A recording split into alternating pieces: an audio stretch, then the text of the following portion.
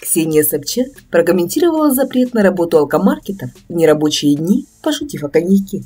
В комментариях пользователи сразу вспомнили скандальную историю, связанную с Ольгой Бузовой и этим напитком. Новый пост телеведущая опубликовала в своем инстаграм-аккаунте.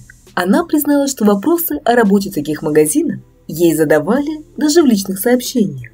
Хотя у нас в стране по коньяку главное, как вы помните, не я, иронично подметила экс-ведущая Дома-2.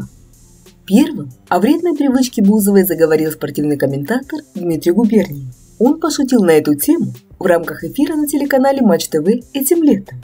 Заявление журналиста крайне оскорбило артистку, что спровоцировало громкий скандал. Позже комментатор также шутил на тему зависимости звезды, на что она отреагировала уже более спокойно. А вот это все шутки про коньяк, с чего они вообще пошли?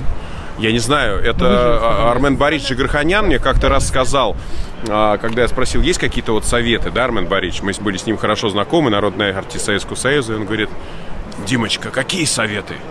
Лови сигналы свыше.